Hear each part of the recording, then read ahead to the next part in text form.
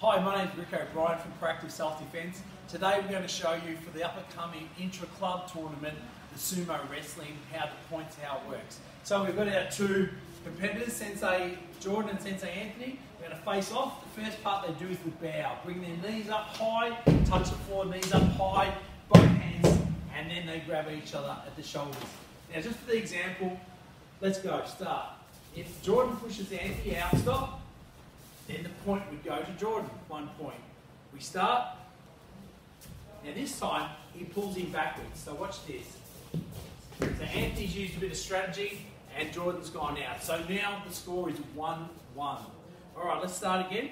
Now this time, if they're wrestling and Anthony falls on one knee, he can still continue, but if he falls on his backside, stop, then Jordan would get the point. So now it is 2-1, okay? Now, this goes to the first person to get five points or till the timer. If the time went now, Jordan would have won by two to one point. Good luck, enter, come up in the intra-club tournament, a lot of fun. Thanks, guys. Hi, welcome to our intra-club tournament, the rules for sword sparring. We've got Anthony and Marco, our swordsmen, and Carl and Kemi on the corner judges. So, first thing, uh, we face each other in the rings competitors will face the centre ref and bow. Then they face each other and bow. Then they'll bring their swords out. You'll notice that they're both off the red mat, so it's a metre away. Both touching swords. The referee will call by hand commands. Start. The sparring starts. Stop. The judges will do a call. So when I say this, the judges will have their heads down and will score who we thought got the first shot. Judges, call. Okay, so you see I've had a no score, I didn't see it. But these guys, keep your hands up, thanks Carl. Open hand, and Kamal's got the open hand, so the point would go to Anthony, one point. Scores are hits to the arms, legs and body. Let's continue. Start. Stop. Judges, call. So again, very clear shot. One point to Marco for the body shot. Start.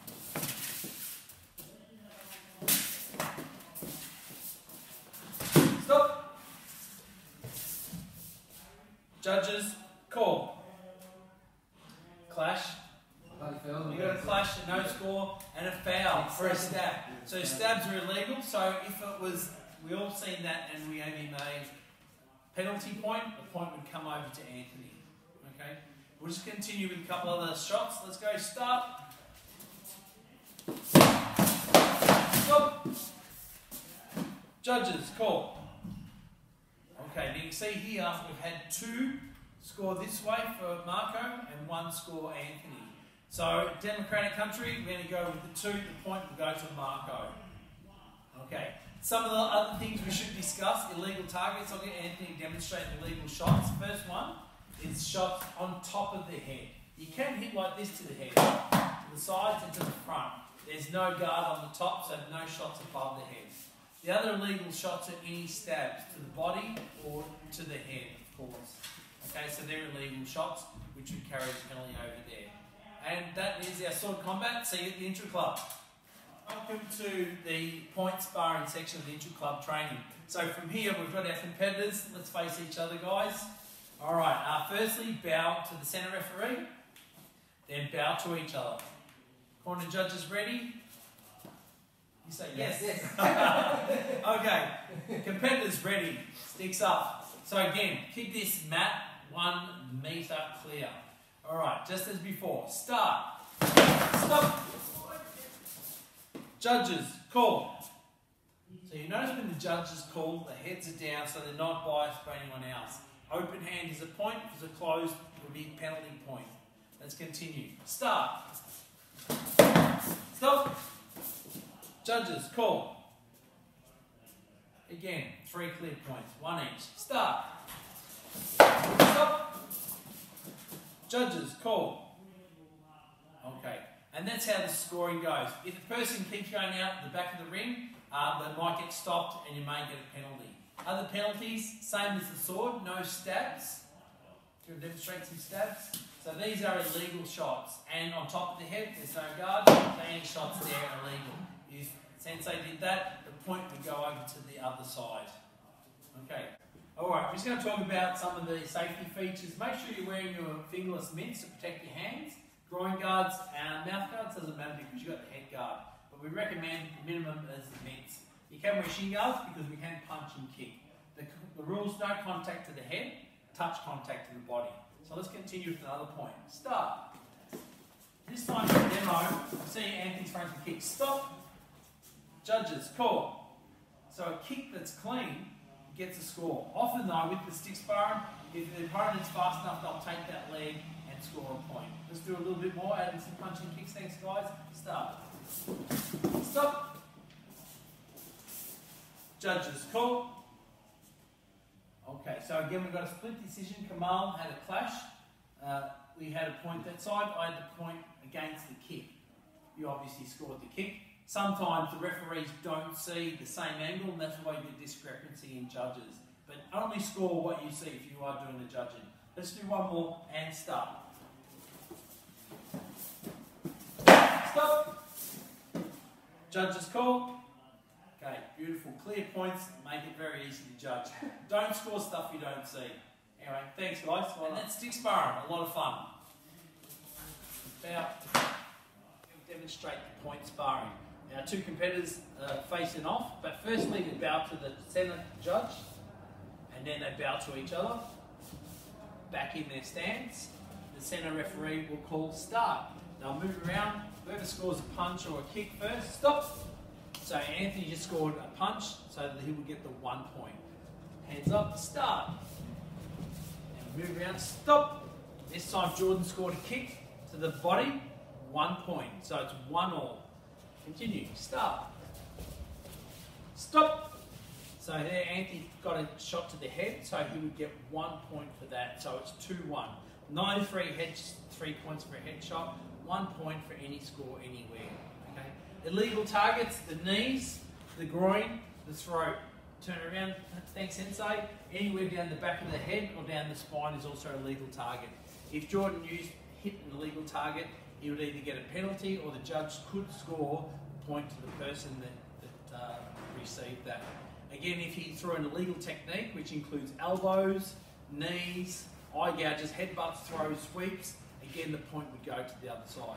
The rules are first person to five or to the timer, okay? And that is our point sparring. Now we're going to demonstrate the continuous sparring of the point. So again, We've got our, two volunteers, uh, Ed and Jordan, about to spar. So again, as usual, bow to the centre ref, bow to each other, and start. So they'll move around, they'll spar. This will go for 90 seconds. They get scored on their attacks and on their defence. For the exercise, we're going to call time, stop.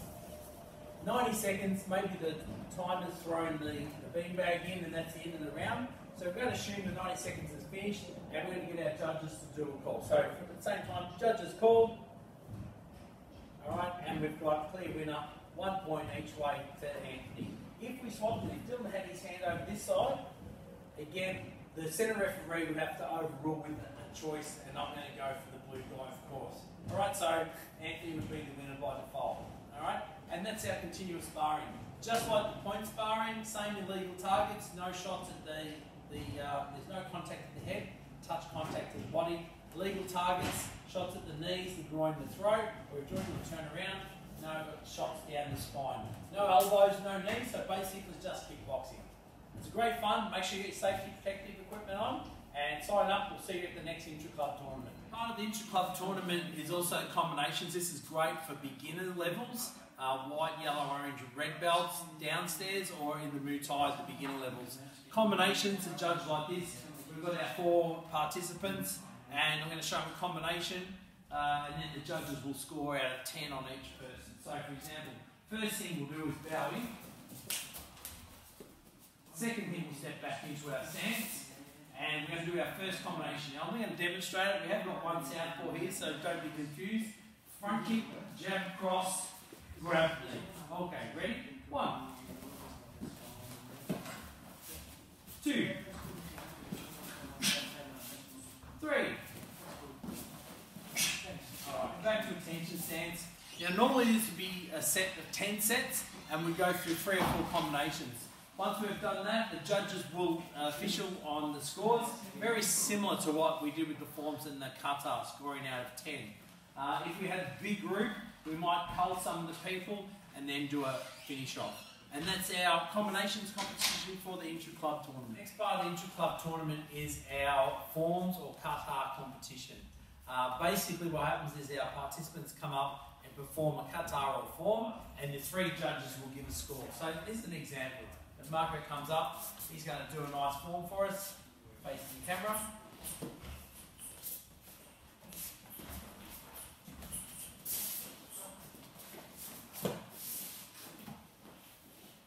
Thanks, Marco. To the side. From there, the judges will give a score. So let's put our scores up, guys. So I've scored a 9, Kamal's done 7, and Carl's given it a 9. So we'll do the maths out of 3, and then we have the next person get up. Let's do a new score, guys, up to you. So Ant's going to do a demonstration or a form, or it could be kata.